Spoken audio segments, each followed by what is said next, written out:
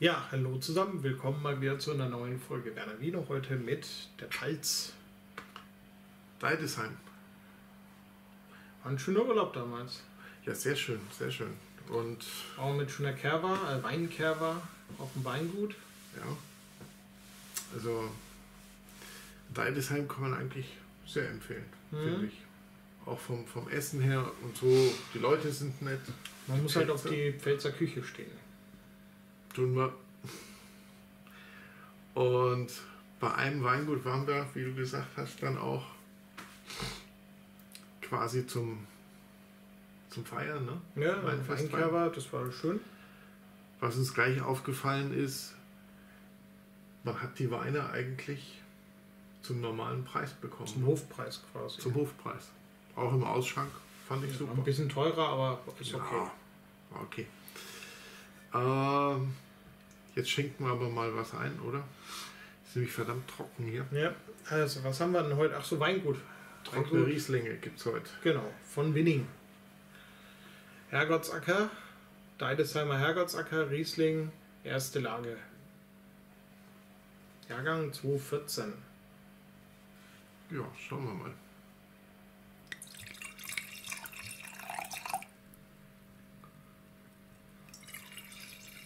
Also von der Farbe her ist es noch ein sehr frischer Wein. Ne? Mhm.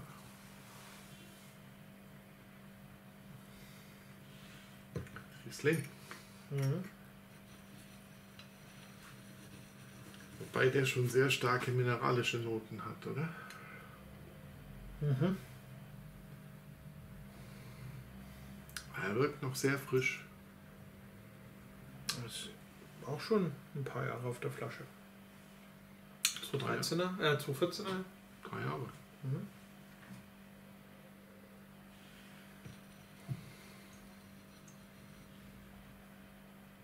Frucht hat er auch noch.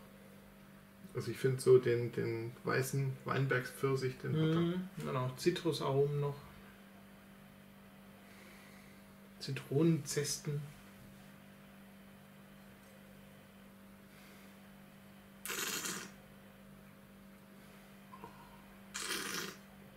Und schmeckt er noch?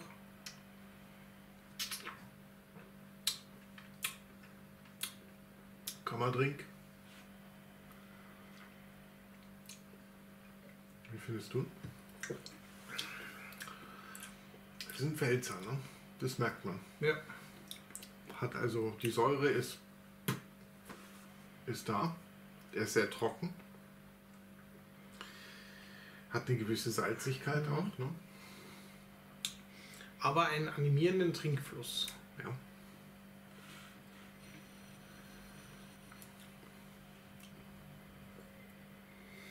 Und der Körper schreit automatisch, wo bleibt der Saumagen, oder?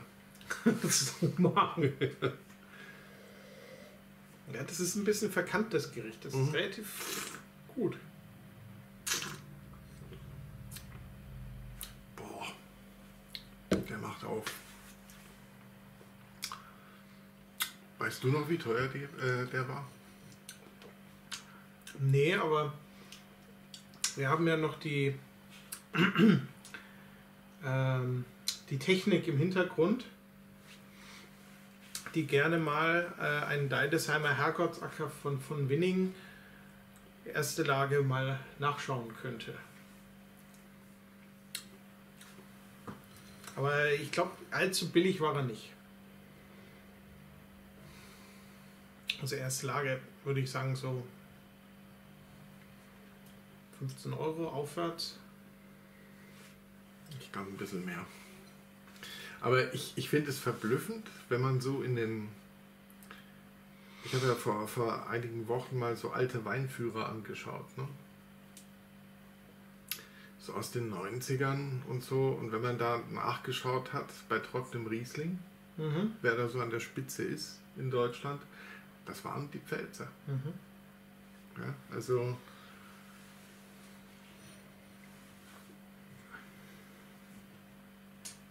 Und auch heute noch, wenn man überlegt, wie viele Spitzenweingüter in der, in der Pfalz sind. Das sind schon einige, die sammeln sich da. Auch so in der Ecke, so Deidesheim, Ja, so im ja. Umkreis, sage ich jetzt mal so um 30, 40, 50 Kilometer. Da sammelt sich das. Was kommt nicht genau nach? Deidesheimer Herrgottsacker von Winning. Wir machen hier gerade Live-Recherche. Genau. Mhm. Preise oder wie? Genau. 15,50. Na, lag ich gar nicht so verkehrt. 15,50. Aber ist schön. Mhm. Für 15,50. Also, Was sagt denn die Technik im Hintergrund zu dem Wein? Auch mineralisch? Mhm. gleich aufgefallen. Aber gut trinkbar. ich habe die Technik im Nacken, fällt mir gerade ein. Mhm. Ne, also, das ist schon gut charakterisiert. Ja, auch du würdest wahrscheinlich sagen Fischbegleiter. Der kann, glaube ich, sehr viel. Mhm. Also, den würde ich auch zu Fleisch essen. Der kann auch Spargel. Den würdest du auch zu Fleisch essen. Mit, der, mit dem Löffel. Den würde ich auch zu Fleisch trinken. Ja? Also, ich könnte mir sehr gut vorstellen, Ja. Geflügel, aber auch zu, zu deftigen Schweinefleischgerichten. Schweinefleisch sowieso total verkannt, Wenn es gut ist. wenn es gut ist. ist. Man muss halt schauen, wie die Tiere gelebt haben und so und was sie gefressen haben. Und Ja. ja, Weiter. Jetzt aber der zweite. Jetzt greifen wir richtig in die Genau. Kiste. Als zweites gibt es das Forster Ungeheuer. Wahrscheinlich die bekannteste Riesling-Lage der Pfalz, oder? Ja, es gibt noch einige Jesuitengarten. Mhm. Äh, Forster Aber- Ungeheuer, großes Gewächs. 2013.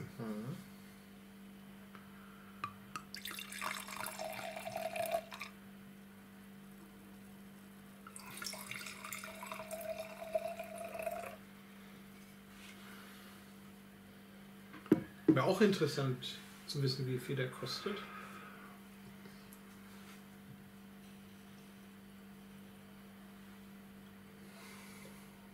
Hm. Das ist leicht kriminell. Das ist irre. Ich würde mal sagen, der hat Holz. Mhm. Großes Holz. Ne? Ich würde auch sagen, beide sind spontan vergoren. Ja. Aber ich glaube, der Herr Altmann macht auch nichts anderes Mhm. als spontan vergoren, oder? Mhm. Das weiß ich den Vornamen nicht. Stefan. Glaub schon. Abmann.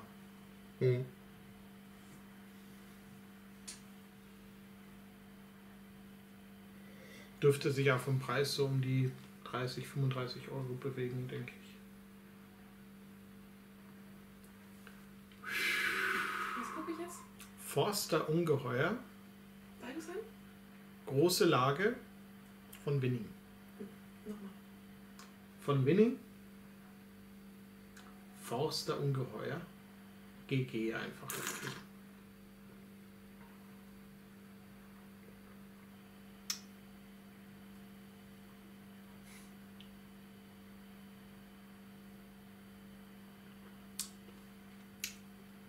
Was habt ihr gewettet? 35 Euro?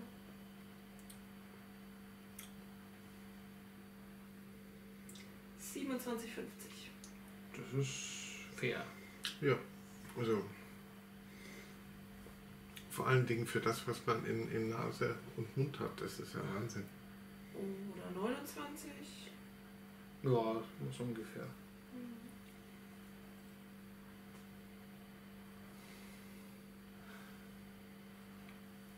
Da ist aber noch eine Fruchtnote dabei, aber ich finde auch so ein bisschen.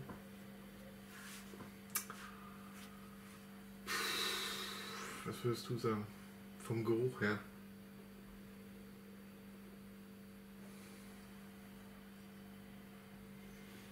Ich nehme mal an, der ist auch auf Kalk gewachsen, oder? Mhm. Ja, meinst du so eine flintige Note? Aber die ist relativ schnell weg. Aber Mhm. es ist auch so ein bisschen, bisschen was Schwereres dabei, finde ich. Jetzt nicht nur der Pfirsich. Das gibt Trockenobst, sowas? So ein bisschen, Mhm. oder?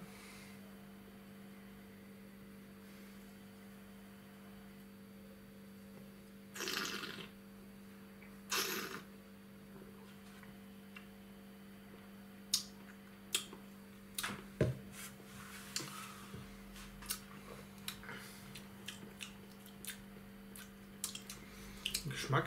Der wirkt unheimlich lange nach. Ne? Ist auch ein bisschen Kräuter sind Aber dabei. auch sowas Orangiges. Ja. Finde ich auch. Bisschen Orangenschale. Aber auch so ein bisschen Honig. Mhm. Er ist auch ein kleines bisschen älter schon. Der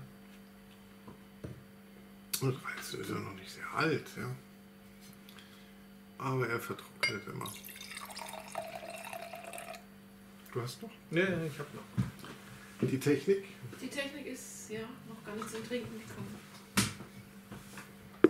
Ja, so ist das.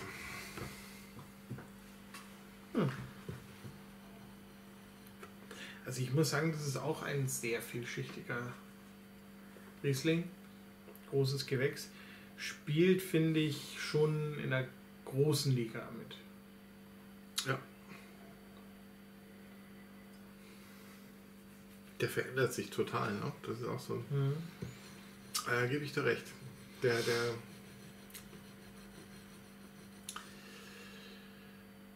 Also, das ist jetzt ein Wein, den ich auch in die ganz große Küche stecken würde. Ja, also könnte ich mir auch sogar zu wild vorstellen. Der hat unheimlich Kraft. Ist aber von, von der Säure her sehr angenehm.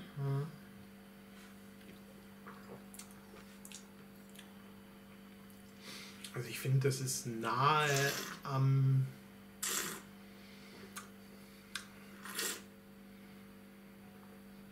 Ich möchte jetzt nicht sagen an, am perfekten Riesling, aber es ist nahe dran. Nein, es ist halt nicht nahe. Aber was ich jetzt merke, es kommen so exotische Fruchtaromen durch. Immer mehr. Kokos. Ein bisschen Kokos ist dabei.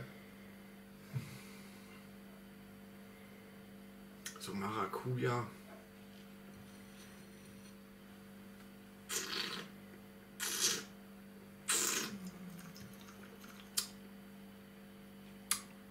Boah, der macht immer mehr auf. Sollen wir mal einen Cut machen? Wir machen mal einen kurzen Cut. Und geben dem mal ein bisschen Zeit zum Luft holen. Bis gleich. So, nach so einer Luftholpause, Für den Wein und uns. genau, äh,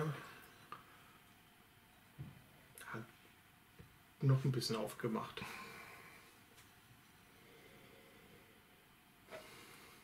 Also Den kann man wirklich gut karaffieren, glaube ich. Ne? Aber was einem da so an Exotik entgegenkommt, ich finde das schon ein Hammer.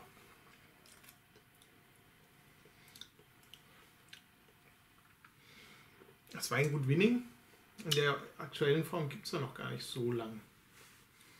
Weil natürlich die Vorfahren, die Deinhardt-Familie geht ja ins ach- 18. Jahrhundert, glaube ich, zurück.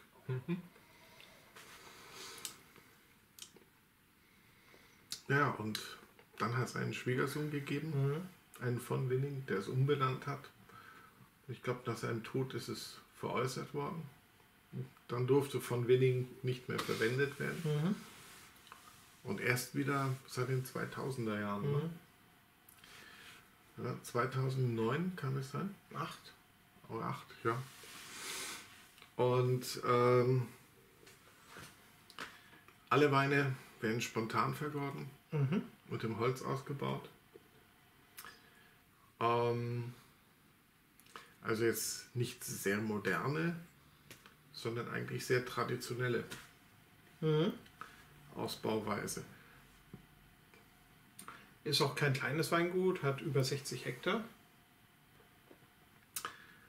Aber was wir da im Glas haben, ist absolute Spitzenklasse, finde ich. Auf jeden Fall. Ich finde, wir kommen bei beiden Weinen über die 40. Ja. Ähm, wir müssen ja den ersten noch mal probieren. Ja, aber jetzt geben wir jetzt mal dem GG die Punkte. Also, ich sehe es schon über die 45. Mhm. Also, Ich sehe ihn auch ein bisschen deutlicher bei den 45. 47. Sowas. Würde ich auch 47, sagen. 48 hätte ich gegeben. Ja, würde ich auch sagen. Also, wir sind ja schon in der deutschen Spitzenklasse drin. Mhm. Ja. Und ich finde es halt beachtlich. Ähm, die Rieslinge sind super. Wir haben Sauvignon Blancs probiert, die waren super. Weißburgunder aber auch nicht schlecht. Pinot war nicht schlecht. Pinot Mhm. Noir. Also war eigentlich alles schon in der Spitze. Mhm. Und ja, also von der Bepunktung sehe ich es auch so. Mhm. Der Preis ist eigentlich auch fair für das, was man Mhm. bekommt. Absolut fair. Jo, Also 48. 48. Ja. Müssen wir noch den ersten Nummer probieren. Das wird jetzt schwer.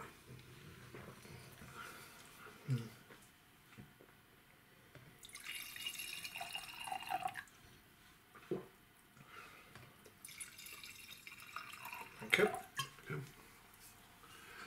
Ja, jetzt sind wir beim Herrgottsacker. Erste Lage 2014. Säure ist gleich straffer. Mhm. Halt auch nicht diese exotischen Aromen. Nein, Ja, ist so wirklich so. traditioneller. Ja, also die, der Weinbergspfirsich ist da. Und eben die Mineralität, die sehr durchkommt. Ja, ja, so ein bisschen was Rauchiges. Mhm. Hat auch was Flintiges im Geruch.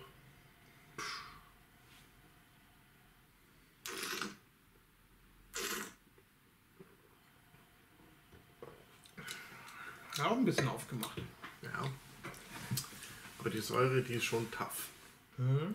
Ja, also Da freut sich dann der Pfälzer Leberkloß mit Leberwurst und ja. Rieslingkraut. Ja, also mir gefällt er auch. Mhm. Ja. Und vom Preis her sehr fair, Mhm. finde ich, für das, was geboten wird. Mhm. Ich würde ihn jetzt bei 44, 45 sehen. Finde ich auch. Sehr viel Wein fürs Geld und macht einfach Spaß. Ja. Ja. Und haben wir vorhin vielleicht nicht gesagt, was mir auch gut gefällt, sind die Etiketten. Mhm. Die, die haben irgendwie so ein bisschen was, ja, Künstlerisch. Ja, das auf jeden Fall. Verspielt, verschnörkelt. Ja. Obwohl die Weine jetzt eigentlich gar nicht so verspielt, verschnörkelt sind. Nee. Sind eigentlich ziemlich geradeaus Mhm. deutsche Rieslinge. Mhm. Ja. Sind wir schon durch, oder? Ja, aber zufrieden durch. Ich meine, wir haben ja heute, sind ja an den Punkten schon ein bisschen Spaß gehabt dabei. Ja. Also wir haben deutsche Spitzenklasse probiert. Mhm. Und ähm, auch vom Preis-Leistungs-Verhältnis sind wir hier ziemlich gut. ist meine Meinung. Ja. Also trinkt's ruhig ein bisschen mehr Riesling. Ja. Wir machen das auch ab und zu. Genau, und geht auch mal in die Palz. Ja. Nette Leute, gutes Essen, super Weine. Lang Macht's lebe die Palz.